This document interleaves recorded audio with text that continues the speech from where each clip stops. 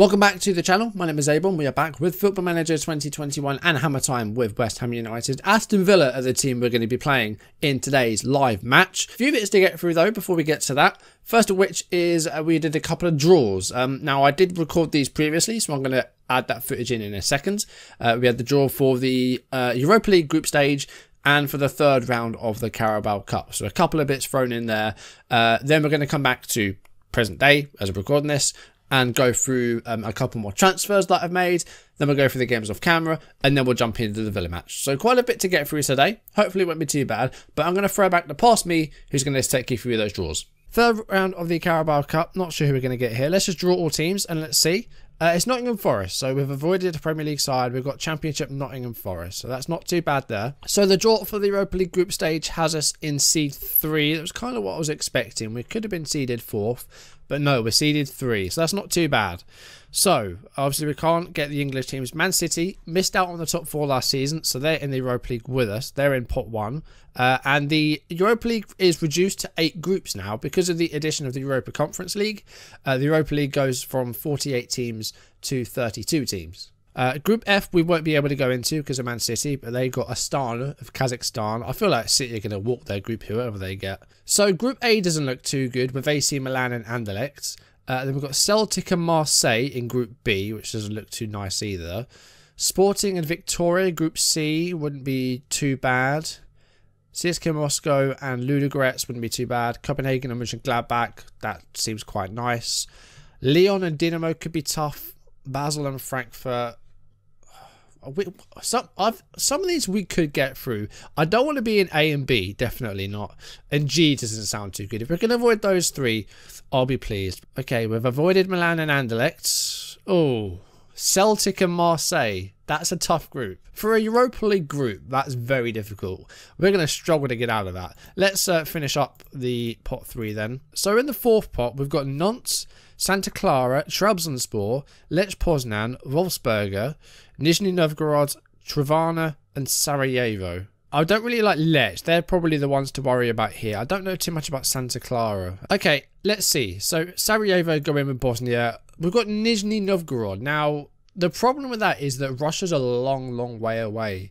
And one of the things that they've changed for FM21 is that if you do play fixtures, especially internationally, a bit further away, then that is going to have an effect on your conditioning. So if we've got a trip to Russia and back before a Premier League game, that's going to take a lot out of the people that go to that game and play in that game. We're going to do Villa today, and I will come back once we get to that game. So, um, I guess future Andy will take over from here. Thank you very much, past me. So yeah, Villa is the game today. Last episode, we just about got a win against Leeds United. So yeah, it was 1-0 at Elland Road, and Andre Gomes scored the goal. It was in the 95th minute, so very, very late. Yeah, we had a very tough start to our season. We had this Leeds game. Off camera, we faced Spurs, Arsenal, and Manchester United. So we had a really, really tough run. So last episode, I mentioned that Masuaku probably didn't have a future at West Ham because he probably dropped a third choice behind Cresswell and uh, we've got uh, Zinchenko on loan this season from Man City. Literally moments after stopping recording, Porto came in with a loan bid. So he's gone to Porto for a season long loan, Masuaku. You know, they're paying most of his wages, which is not too bad at all.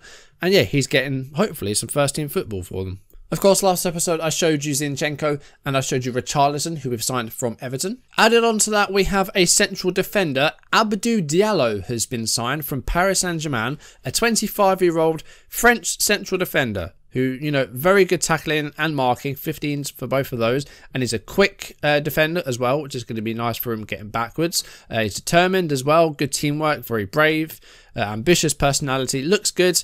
Um, not really the, the centre back that I wanted. I wanted one that had like good sort of dribbling. Uh, his passing is not too bad, so he can be a good ball playing defender. But I wanted someone who could play libero, you know, about as good as Declan Rice, which we weren't unfortunately able to get. Uh, but Diallo's come in from PSG, 11.5 million pounds, uh, not too bad. Um, he was transfer listed by PSG, uh, as was another um, centre back that they had. But we've gone with Diallo and he's yet to play for me. Uh, he did have a bit of a hamstring problem when we signed him, so uh, waiting for that to heal up, and then he should be ready to go. He was on the bench in our last game, but hasn't featured yet. And then on top of the Zinchenko loan, we have got another loan from the Premier League, and it's Divock Origi from Liverpool. He was transfer listed by Liverpool. £29 million they wanted him. I thought that was a bit hefty. And it was also deadline day. So um, I think, you know what, it may have been difficult to get that over the line. So we've gone with a loan move.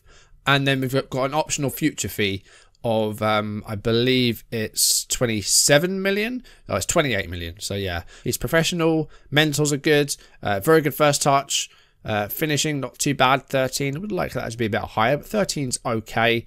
Uh, he's got good technique and there's a good dribbler of the ball. So I think he might be used out wide. He might be used up front. He's a bit like Richarlison. He can play sort of anywhere across the front three really and hopefully he can do well. Got seven goals for Liverpool last season, didn't do too badly at all, but hopefully he can do a job for us for West Ham. The transfer window is now closed, so we can't make any more signings until January. Anyway, uh, time to go through the games we played off camera. We started things off with a great 3-1 win at home against Tottenham. Really, really good result here and a great performance. Um, a match that I think we deserved to win, and we did so. As Sebastian Haller scored inside a minute, very early goal for us, and Haller gets his first goal of the season uh, inside a minute. Great start, and it got better. Emi Buendia, his first goal of the season, 17th minute, picking up where he left off last season with his eight goals, and he's got two in this one because he also scored in the second half. No clean sheet though. Spurs did get a goal back uh, just before half an hour, and that was Son who um, got on the end of a set piece. And as we mentioned, Buendia did get a second goal, and that came on 70 minutes. Um, great performance here. A match I think we deserved to win. We did win. Um, very impressive. Then came the match against the champions, Arsenal. Won the Premier League last year. And these are the matches that we just can't get anything in because I don't really know how to set this team up against the big teams away from home. It's really hard to do so. Like, do you go for it? Do you go defensive? We did try counter attacking for a while in this game, which did get us a goal, but other than that, we really didn't offer much here. It was all Arsenal. They were 3 0 up inside 25 minutes. They got three goals in about five minutes. Clement Lenglet, new signing from uh, Barcelona, got the first goal. And then we gave away a penalty, which was uh, Zinchenko giving that away. Uh, Aubameyang converted that. Uh, and then it was Pepe getting Arsenal's other two goals, one on 25 minutes and one just after the hour. And as mentioned, we did get one goal. Richarlison with his first West Ham goal on 35 minutes was the only uh, positive thing to take from this game. And then we faced Manchester United. Like I said, we had a tough run of fixtures to start things off. We lost 2 0 at London Stadium to Man United. Uh, first half was goalless. We were doing okay. Unlucky not to get a goal from this one. I think we played well, but unfortunately, no goals for us. Uh, in the second half, United did two goals. Marcus Rashford on 50 minutes, and then Hakan Calhanoglu scored to make it 2 0 uh, with about 10 minutes left of normal time. Calhanoglu's new signing for Man United. Uh, they've been very busy. They've got him, they've got Otavio, they've got Ashraf Hakimi. Yeah, Man United have been very busy. But after two straight defeats, we did get back to winning ways with a 2-1 home win against Newcastle United. Tough game this one. Newcastle, unfortunate not to get a point from this. Uh, we scored late on with our winning goal. Uh, took an early lead. Thomas Soucek with a goal uh, in about seven and a half minutes to make it 1-0. In the second half, Newcastle did equalise. They had a couple of chances and could have got a goal before then. And uh, they did eventually score. Allan Saint-Maximin with lots of space out on the right hand side, cut inside and shot it past Fabianski to equalise. But we did uh, manage to get all three points. Demarai Gray won it for us with an 89th minute goal uh, to make it 2 1. And then we had our first game in our Europa League group, and it was against Nizhny Novgorod, the side from Russia, who I discovered qualified for this competition by winning Russia's cup, the domestic cup. Despite the fact they're not even in the Russian Premier League, they're in the second tier in Russia. Didn't even get relegated a, a, team that wasn't even in the Premier League won Russia's domestic cup. It would be the equivalent of like Brentford winning the FA Cup or something like that. So yeah, a bit of a, a strange one in Russia. But we managed to win 4-1 at home. Jarrod Bowen, very impressive with this one. Uh, a first half hat-trick for him, with the third of which was from the penalty spot. Really, really impressive for him. And it's first appearance of the season as well. He had a really fun day out against the Russians. Uh, Carlos Fernandez added a fourth on 39 minutes. We were 4 0 up in the first half. Second half was a little bit more pedestrian. Um, Nizhny did get a consolation goal through Leontjev, uh, a team entirely made up of fake players, by the way, greyed out players, which don't even exist.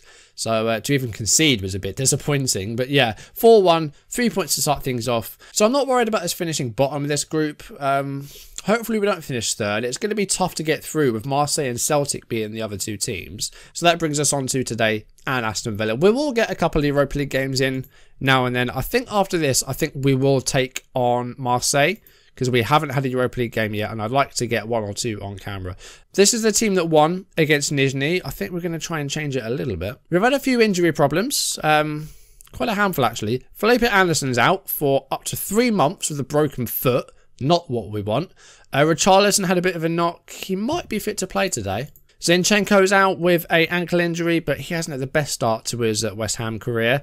And Haller's also got a bit of a knock, so he's going to be missing today. All right, we're going to give Diallo his debut today. As a ball playing defender, he's going to replace uh, Gonzalo Cardozo. I'm going to go Cresswell as left wing back. Um, you haven't Anderson played out there before. I'm going to start Gray over Buendia, just give Buendia a bit of a rest. We're going to start Demarai Gray. He scored against Leeds. Okay, so Villa, um, any new players here? Yerry Mina, they've signed him from Everton, who of course got relegated, as we saw.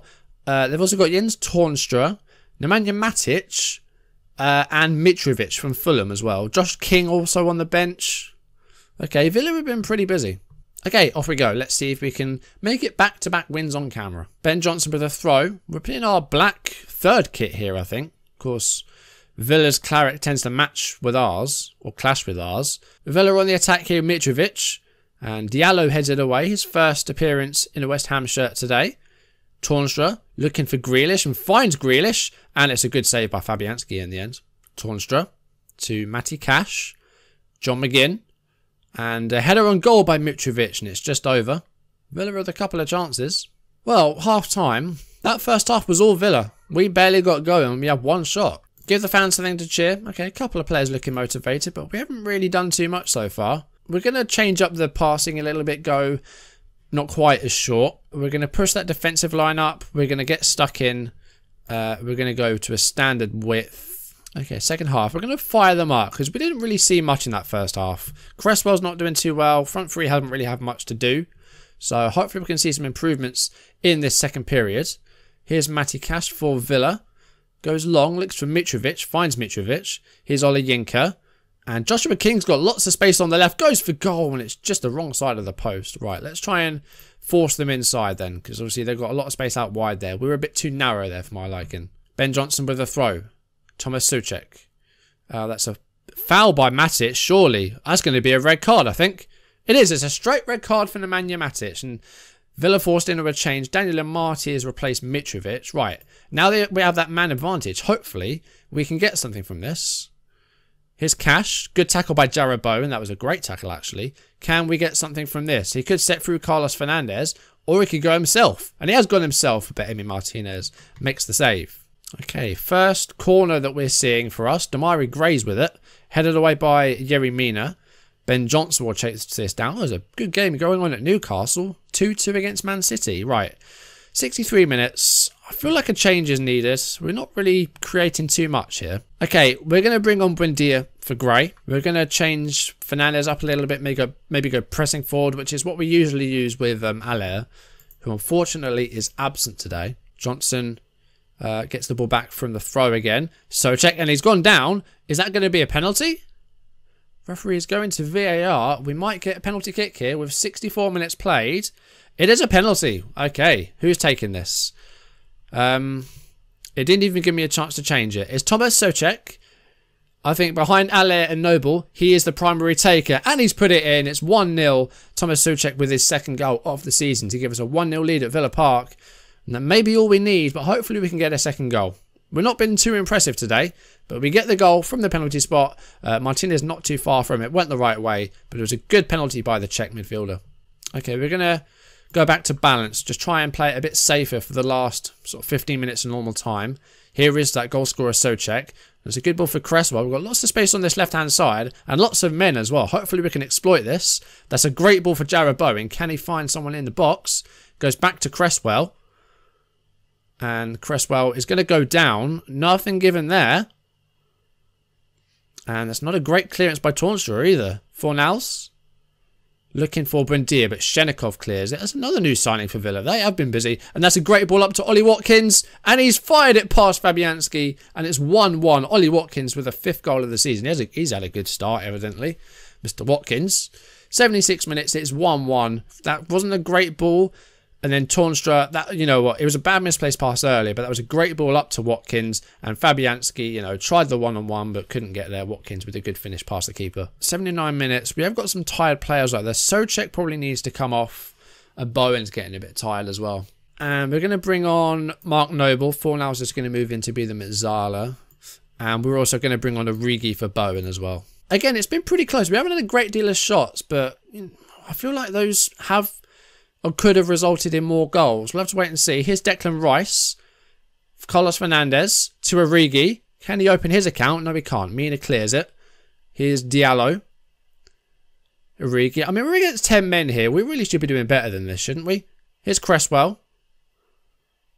Looks for the cross, but it's blocked. And Origi manages to hold on. Here's Fornals. Oh, it's off the bar, is it? Oh, it's, it's in. I think... Oh, wait. What's the referee going to do here? Was Buendia offside? It didn't look like it. Martinez made a great save there as well. I thought it hit the woodwork, but I think it was... um I think it was um saved by Martinez. And Buendia was offside. It's been disallowed.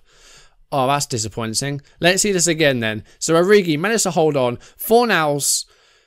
I mean, did it hit the bar or did it hit Martinez? It's very hard to tell, but it's not counted. Just stoppage time left. It looks like it's going to be a draw, but considering the circumstances, isn't the greatest. Oh god, there's a late, late highlight. Oh no. Oh, Konsa heads over. If that had gone in, that would have been disappointing. It's 1-1. Away from home, that's not a bad point, but they had 10 men for over half an hour. So we could have got the win there. And look at the XG as well. We were unlucky not to get a second goal. Buendia did have the ball in the net, but it got disallowed. So that's a shame. Um, no, we avoided defeat, but we could have done a lot better out there. I, I've got to say, I wasn't too happy with that. So that first half was a little bit too slow. We didn't really get going. Time is up for you to guess who the top scorer was last season. Um, there were a few guesses. Uh, Chris Wood was guessed from Burnley. Uh, Callum Wilson, I mean, he did get some goals for Newcastle, but was not top scorer. Someone guessed Oli McBurnie from Sheffield United. And you know what? You had the right team, but the wrong player. Because the top scorer last season was Sheffield United's Lys Mousset. Not the player that I was expecting to get top scorer. 20 league goals and the winner of the Golden Boot last season, Lys Mousset. And Sheffield United, who finished... Where did they finish? Like 10th place? 11th place they finished, and they had the Golden Boot winner. That was a bit of a surprise for me. But yeah, nobody won the £10, so um, yeah, no one's going to get it because no one guessed it. Before we go today, it is Thursday, so there will be a featured Thursday before we go. But let's have a look at our upcoming fixtures. I think we are going to do Marseille next time. But yeah, as I said, it is Thursday, so time for our featured Thursday created. So, so far we've had Dodgy Gamer, we've had Kahuna Gaming. A featured Thursday, is you know, it's not just for smaller creators you know, it, it, it's for it's for creators that I, I enjoy watching, like Proudie, who's today's featured Thursday creator. Proudie is one of my favourite creators and someone that I try and watch every video from because I think he's one of the funniest people in this community. Very, very funny. Uh, he's playing as Wycombe Wanderers for FM21 with his um, long running, attempting not to get sacked save. Proudie is notoriously bad at Football Manager. Let's fair to say. Um, he's you know been relegated. He's lost several jobs. So, um, you know, so far Wycombe, as I've seen, he's been getting some results and he's been getting some wins. I'm not going to spoil too much, but Proudie's videos are very, very entertaining and they're very short as well. Most of them are sort of under 10 minutes, as you can see. So, um, yeah, you know, he, try, he, he, he crams a lot of content into a very small, uh, much shorter video. You know, Football Manager, Football Manager videos generally a sort of 15 to 20 minutes, maybe a bit longer for stuff like transfers. But, you know, he gets all this stuff in inside 10 minutes. I think it's very well put together. Graphically as well, it's fantastic. So he's on about 7.3k subscribers. So go out there, give him a subscribe. Um, he's genuinely, genuinely one of the funniest people in this community. So, uh, yeah, go and check him out. Uh, but that's it for today's video. Thank you for watching. If you enjoyed it, drop a like down below. Leave comments if you haven't done so already, or if you're new, do subscribe and turn on notifications. Next episode, we're going to have some Europa League football on camera as we face Marseille. Off camera, we have that Carabao Cup game against Nottingham Forest. We also face Celtic away from home in the Europa League.